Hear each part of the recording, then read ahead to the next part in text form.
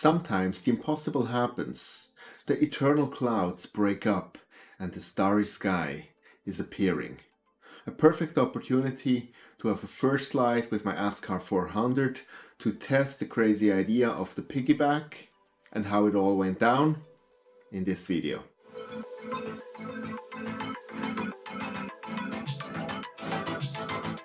Hey, this is View into Space. I'm Sasha from Switzerland, so grüezi miteinander and thanks for watching my channel. So let's split this video in two parts. First, how well did my idea with the piggyback go? Second, how well did the Askar perform? So when it comes to the piggyback, I stated in my last video that I wanted the Askar 400 to ride on top of my CPC 800. So I installed a dovetail in the middle of the CPC 800 and put my ASCAR 400 on top of it. I put some extra weights below and I was able to balance it so-so. Meaning from an angle to about this to this, it was perfectly balanced, but as soon as it would overshoot or go too low, it would actually come out of balance. But given that the Horsehead Nebula, which I wanted to shoot, was in this preferred angle, it should be okay.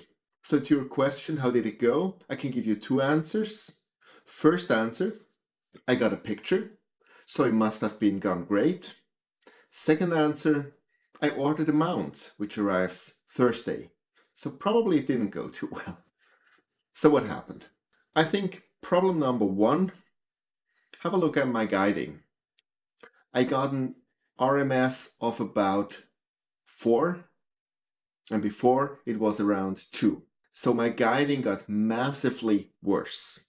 And while an RMS of 2 is not brilliant, for the Askar 400 it would have been good enough. But with a 4, no thank you. So when it goes to the dual narrowband filter, I shot about 40 exposures and for this picture I could use 20. The others they were simply unusable because of the guiding. But beside that, there were some other issues. The CPC 800, it's not a small scope, but still, the space is limited on top of it. I already have my Telrad, I already have my guiding scope, and in the middle now I had my FRA 400, and it was just like everything got in the way. So I had to put my Telrad, as you can see here, in front which made it really hard to look through it. With my guide scope, I even had to replace the screw. You can see that here, that it actually still fit in the position I had to put it to. And still, it was pretty hard actually to put the FRA in the middle in a way that I could still rotate it. And then the whole thing put together did not fit in my cover anymore, so I would have to buy a new cover. So at the end it was like, yeah, you can force it to make it work somehow. But is it a good solution? No, not at all. And then we come also back what I discussed last time that every night here is really precious. And so now that I have two telescopes, actually to make use of that and to use both at the same time for shooting is really a very attractive perspective. At the moment I just ordered mount, but I did not order the camera yet. So one step at a time, that's also something that I learned in the last year, that it's actually a good thing not to overwhelm you with a lot of new equipment. So let's go now to the second topic, the FRA 400. And we will go in a second to PixInsight and I will show you in detail what I got. But just as a short sum up, for that this is only 20 times 180 second I'm really, really happy with this picture. It really makes me excited what's possible when I take this more serious. I have a better mount, I have more time to shoot. So definitely a good start. There is only one concern that I have, and you might already see it here and here and here and here, and that's halos. They're quite massive. And I don't think it's the filter because the Antlia ALPT, it's known for that it doesn't have a halo problem. And when I looked at it, and we see it that in a second on PixInsight, on the Antlia as well as on the Optolong L Pro, which I use for the stars, I had the halos. So my assumption is that it's the scope who produces them. And I have also read in some forum posts that other people have the same issue.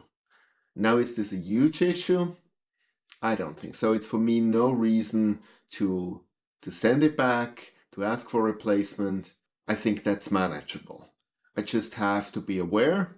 I think I have to mitigate it with the star shooting with even shorter exposure times. And then also in the processing, look for methods how I best get these halos out. But that's just something to consider in the future. And also, I believe that with a better guiding, that might also help because when the stars get smaller, also the halos get smaller. But let's now have a detailed look at PixInsight.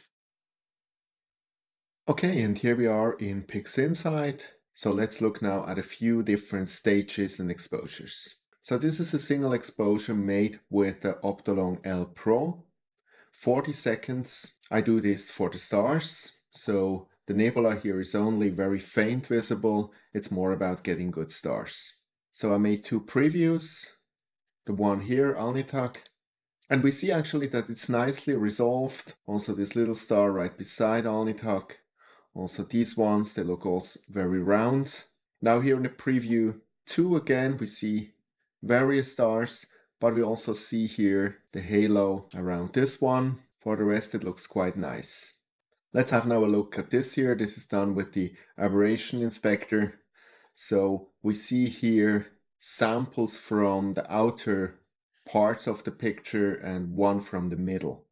And what you can see, even with the rather bad guiding that I had, the stars are mostly round. If you look here, these stars, they look very round. They have a little bit an egg shape because again with an RMS of 3 to 4 that's unavoidable but it's definitely not about the scope. This is what you still see if it's not 100% round. This is the guiding issue that will be resolved soon. Um, but from, a, from what the scope offers, it's absolutely great.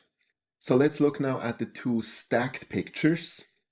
They are right from AstroPixel processor.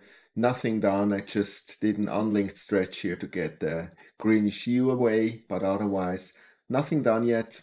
Again, I think star quality all over the picture. Very nice. But again, looking at some here of the larger stars, we see very clearly the issue with the halos.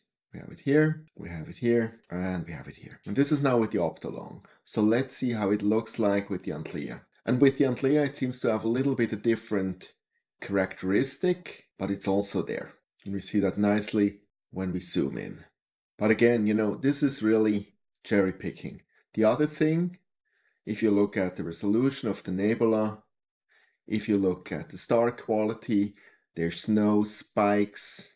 So they look really, really nice. So this all brings us here to the final picture, which again, giving the guiding error, given only 20 pictures times 180 seconds, this gives an hour of exposure time, looking at all the nebulosity that it actually shows. I think it's it's really a good start. It's just a start, but a good start.